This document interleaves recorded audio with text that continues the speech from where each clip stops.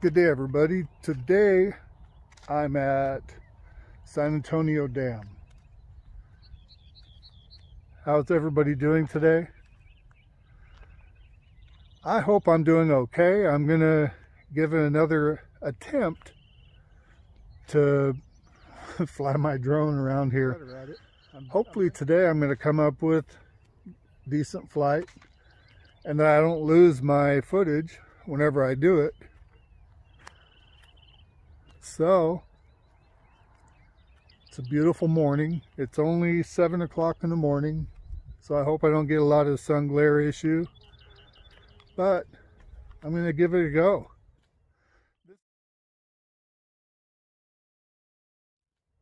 This dam was built in 1955 and it's basically a flood control basin for the upper portion of the Inland Empire. It's um, upland is right here, the city below it. There was some major floods in the history in the past that caused serious flooding to the houses and stuff right below the dam here. So hopefully my footage is going to show you how big the rock and stuff is that comes down the river whenever it does happen. So, again, I'm going to give her a shot. Hope things go well. Wish me luck.